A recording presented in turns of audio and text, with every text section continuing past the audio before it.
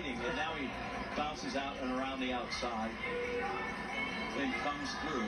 It is so cool that we finish on a hill like this. Can I just say that? It is.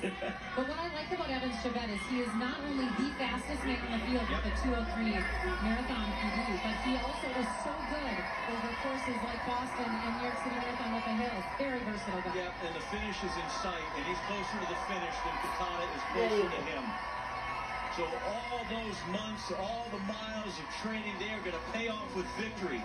Boston, now New York, Evans Chebet, 2022, TCS, New York City Marathon champion, the double here in the States.